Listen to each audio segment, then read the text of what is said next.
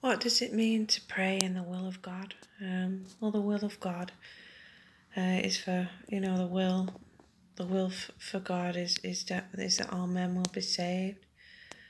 Um, there's a scripture in Timothy who will have all men to be saved and to come to the knowledge of the truth. And then there's Second Peter three verse nine. The Lord is not slack concerning his promise, as some men count slackness, but is long suffering to usward not willing that any should perish, but that all should come to repentance. So, all to come to that change of mind about what God has done for them. We can't save ourselves, we are sinners. Um, we need to be perfect to go to heaven, and we're not. Because we, you know, we've all broken the, the laws of God. You know, the ten, the Ten Commandments, we can't keep them. You know, we have a vile, corrupt corrupt nature that um, that dishonors God, and we need a new nature. And so that so the will of God is for all men to be saved. So um, so when when we pray to God, you know, we, we should we should be praying for our family, you know, our friends, for for um, for leaders, you know, for, for them to be saved.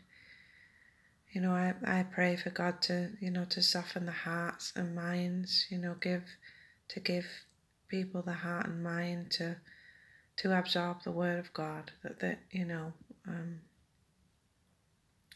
that that, that seed that seed will be planted and that, that these people will, will one day, you know, come to see their need for a Saviour in, in the Lord Jesus Christ.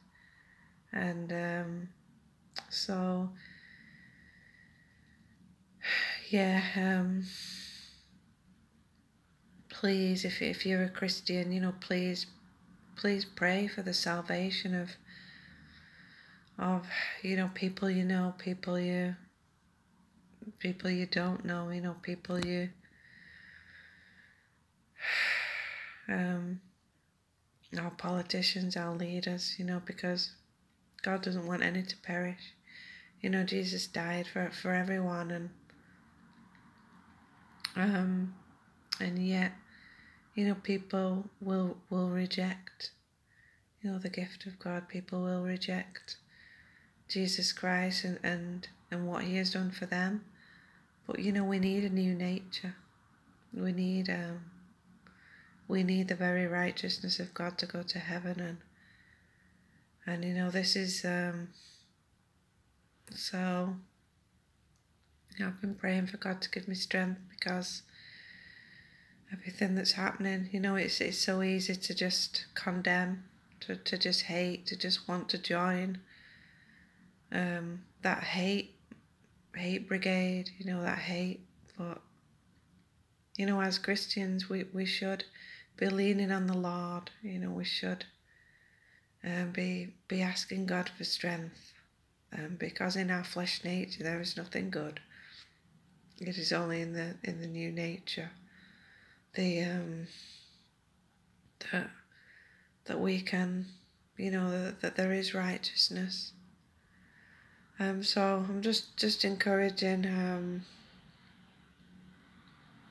just encouraging people to to just um, to put aside, you know, the deeds of the flesh and, and to just submit to God, you know. If you can't pray, if, if if you find it difficult, you know, give give it to God.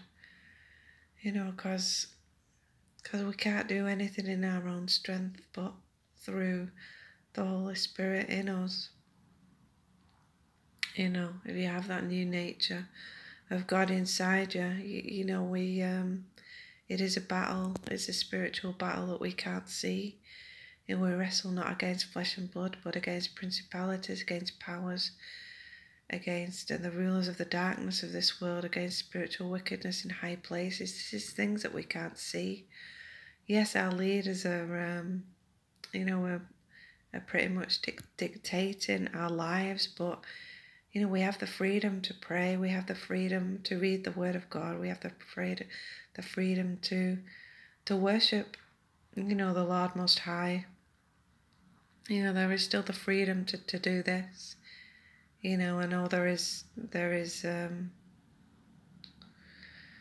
there is an attack on you know people coming together to, to worship God. Um, but it's it's up to the church to stand, you know, to stand up on the word of God too.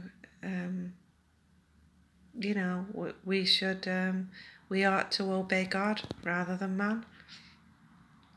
Um, but you know, if, if we're not if we're not praying for people, then who is? Because it is a battle for souls, and um, God wants none to perish, but all to come to repentance, all, all to have a change of mind about what what God has done for them in sending His Son.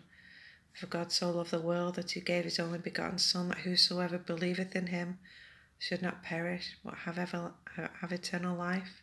For God sent not his Son into the world to condemn the world, but that the world through him might be saved. He that believeth is not condemned, but he that believeth not is condemned already, because he he hath believeth not the record that God gave of his Son. So, you know, when when we when we believe on the Lord Jesus Christ, we we trust in his death, burial, and resurrection that he's you know he's he's died in our place um, on the cross for our sins. And we believe in him for everlasting life. We can know we've got eternal life and you know we have we have a, a new nature. We have the holy spirit who comes to live in us. This is the only reason why we will go to heaven because we have the very nature of, of um, the very righteousness of God. And and even though we are still sinners um, in this in this lifetime in this body, God sees the very righteousness of Christ upon us, um, and we have that choice every day to walk in the new nature. You know, to feed ourselves with the Word of God.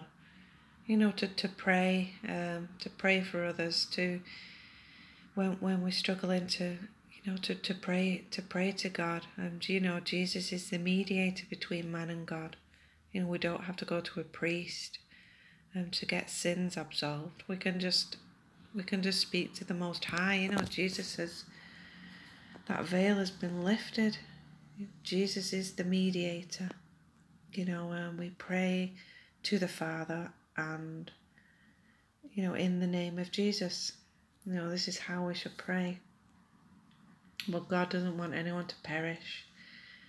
Um, so, you know, if, if we are struggling um, to, to pray for our leaders, you know, as the Word of God says we should, then, um, you know, we obviously there's a spiritual issue there and, and we need, you know, we, we should be submitting to, to the Word of God. You know, we should be seeking God's strength because there's nothing we can do in our own strength. Um, so, you know, try not to despair and, you know, just just just just look to God, um, because He is He is our strength, and we we need Him more than ever, um, because it's just so easy to to fall back into that, you know, to be watching videos and to, to, to just be engaged with, with all of that hate, all of that divide. And you know, as Christians, we, we shouldn't, we should be separate from that. You know, we should be, you know, people should be looking to us, you know, what, what is our hope? You know, why, why are we different? Why are we acting different? Why are we not scared? Why are we not fearful? Because we have the hope of eternal life in us. You know, we, we have, um, you know, we are saved.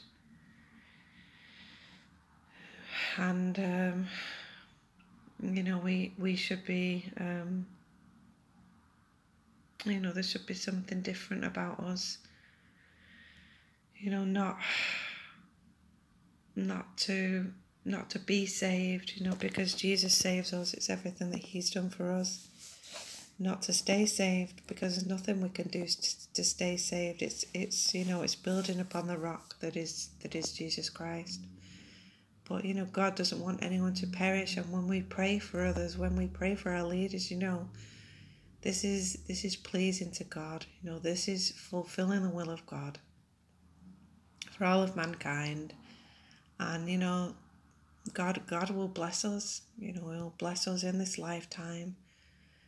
He will answer those prayers in His way, in His time.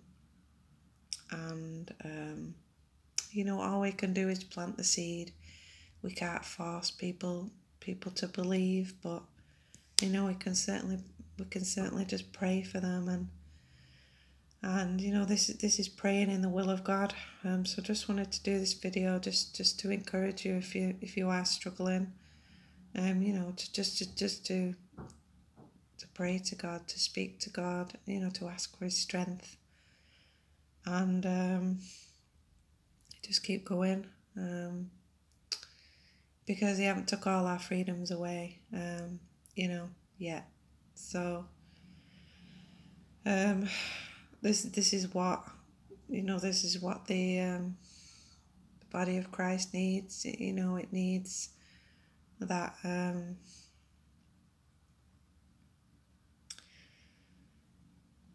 that uh, courage you know that um, that that strength um, because you know it's it's it's for everyone you know, when you're praying in the body of Christ, you're praying for everyone. And, you know, the body of Christ is strengthened. And, you know, we can be strong for the Lord in these um, in these vessels, in these bodies that He's given us. Um, so I just encourage everyone to, you know, to, to pray in the will of God because God wants none to perish, you know, to come to repentance or to have a change of mind or to be saved through the simplicity that's in Christ, uh, through his death, burial, and resurrection. Thank you for listening and um, have a great day. God bless.